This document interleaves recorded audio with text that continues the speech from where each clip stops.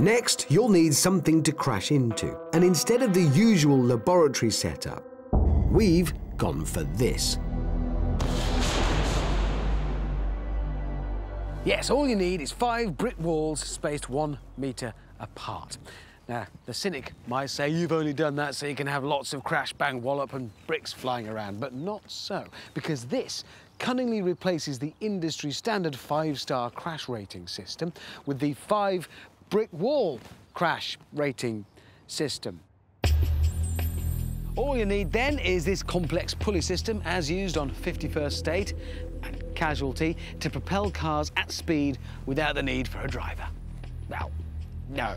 All you need, finally, is to then reverse the gears in the gearbox of one of the cars so it can go backwards at speed. And then you are ready. And first, the traditional forward crash test.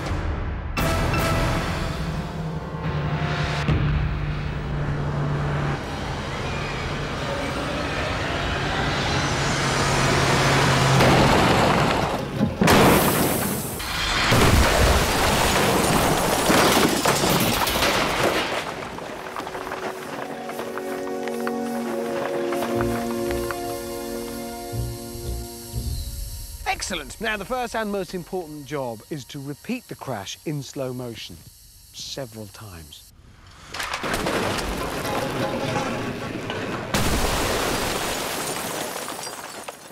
Now, cynics might say that this is just so we can see bricks flying around slowly in a childish manner, but not so. This is a useful way of analysing how the car performed in the test. Although the bricks flying about do look good.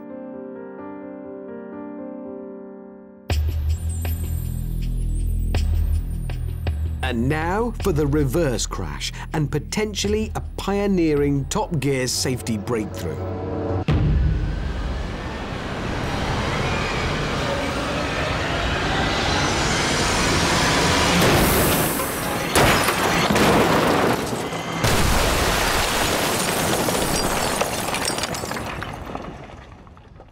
Wow! I mean, very interesting. You can see clearly from this slow-mo repeat that stuff is going everywhere.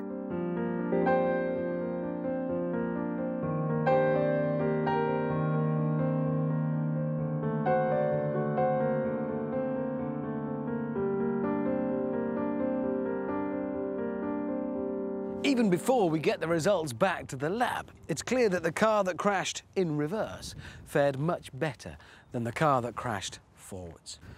I mean, just look at the state of that engine.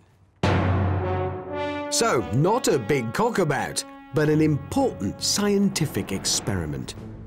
Because what we've shown is, clearly, the roads would be a far, far safer place if cars were built backwards.